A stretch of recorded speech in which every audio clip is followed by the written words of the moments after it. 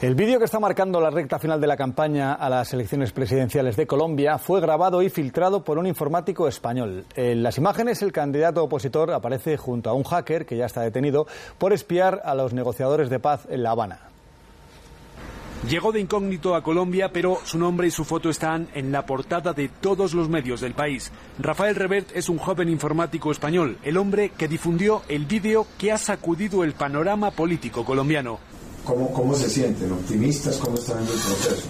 Revert grabó al candidato presidencial de la derecha, Oscar Iván Zuluaga, hablando con un pirata informático que espiaba a los negociadores de paz de La Habana y que hacía seguimiento a otros candidatos presidenciales. El pirata informático Andrés Sepúlveda, detenido y a la espera de juicio, conoció a Rafael Revert en esta Campus Party de 2012 en Bogotá. Tiempo después le ofreció trabajo en el equipo de seguridad informática de Oscar Iván Zuluaga.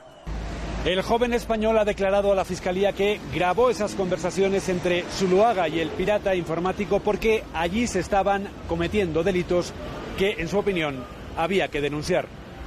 Sobre el vídeo que grabó Revert, el candidato de la derecha insiste. Este video es un montaje y una trampa que fue hecha para poder de manera ilegal hacer unas grabaciones. Pero la fiscalía ha declarado que el vídeo es real y que no está manipulado. Revert es hoy un testigo protegido de la fiscalía.